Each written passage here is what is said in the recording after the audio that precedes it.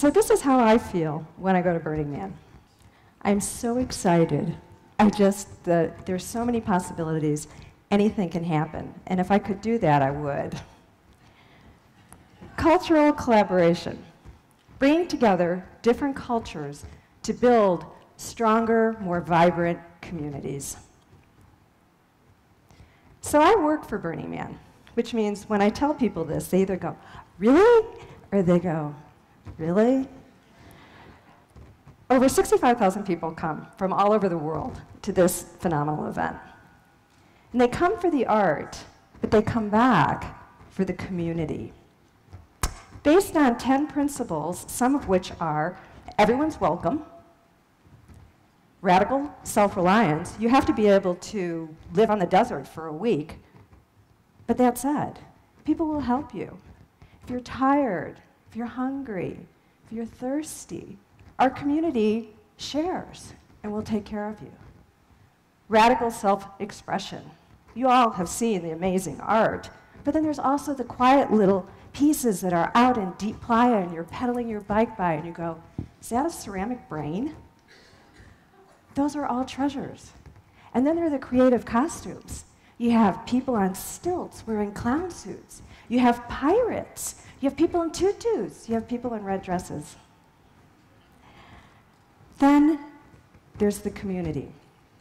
The community has to work together to build all these things, to build the sculptures, to build the theme camps, to build the city itself. It's community and collaboration. Black Rock City is the fifth largest city in Nevada for one week out of the year. And when the event's over, we go away and we leave no trace. Imagine a world where we could live like this every day. The Burning Man Project was created to bring the ethos of Burning Man out into the world. In 2008, Crimson Rose, one of the founders, and I, with the support of the Black Rock Arts Foundation, decided to bring the art of Burning Man to an empty lot in downtown Reno. We started with the Mangrove Project, which was a small project. It consisted of 11 trees made out of recycled materials, um, created by five different artist collectives.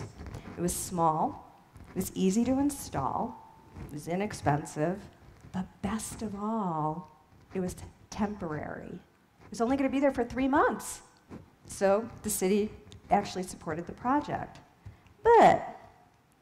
Burners being burners, someone said, Hey, can we play some music in the mangrove? And I said, Sure, why not? And so all of a sudden, spontaneously on Sundays, we had music in the mangrove. We had live music, we had people dancing, we had families, we had people hula hooping, and then the citizens of Reno that were walking by came and joined us. They asked us questions about the art, about the culture, and we shared, and everybody had a great time. The next year, we went larger. This is Celtic Forest, and we brought fire and metal art to downtown Reno. Now we were really giving a taste of Burning Man. And we participated in Reno's month long art festival, Artown, so this time we had programming, we had DJs, we had fire spinners, we had hula hoop jams, we had live music. And the citizens of Reno really started to see what Burning Man was all about. It wasn't this scary thing that was out in the desert. So we were sharing our culture. Okay, now this one was a little challenging. This is Spire of Fire. It was 48 feet tall. It had fire on five levels that was participant driven. So it was interactive, giant metal art on fire. I mean, this was Burning Man in downtown Reno.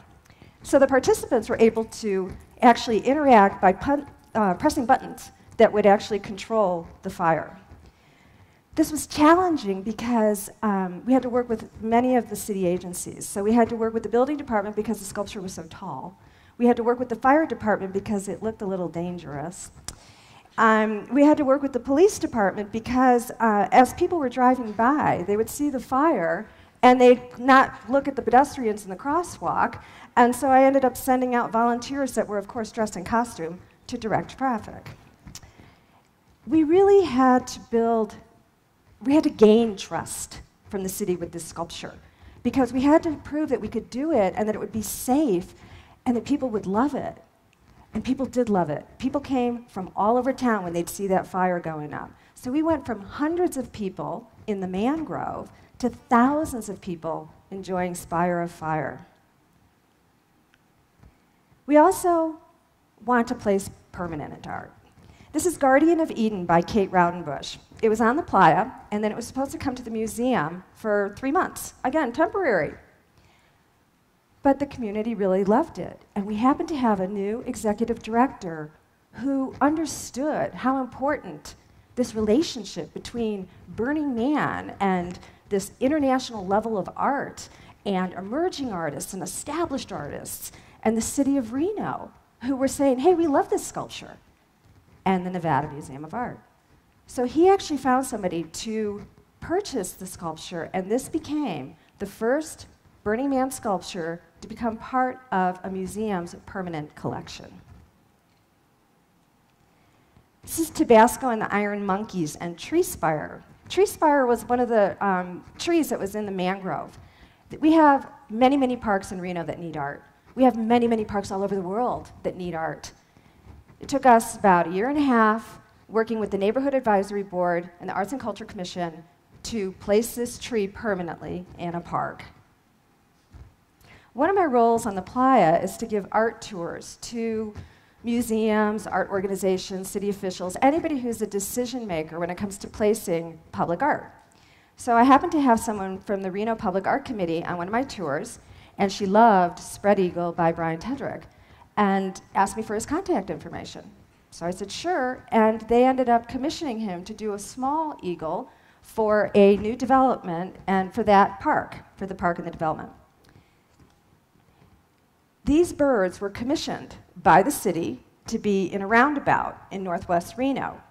The artist, David Boyer, happened to be a Burning Man artist, and he said, Do you think I could take them out to Burning Man? before I install them? The City loved the idea. Reno Star Thistle. This was created out of um, scavenged materials that were, that, had, that were from the uh, Reno Event Center. It was a sculpture that had just not made it, basically. But the materials were in really, really good condition. This is where the story gets really, really cool, I think, because what happened was when the city put out a call for artists, they sent it to us and said they wanted it to go out to Burning Man artists as well. But one of the priorities was that it had to go to Burning Man first. This wonderful, playful puppet, the Ichthyosaur puppet by local artist Jerry Snyder, is now living in the lobby of the Children's Discovery Museum.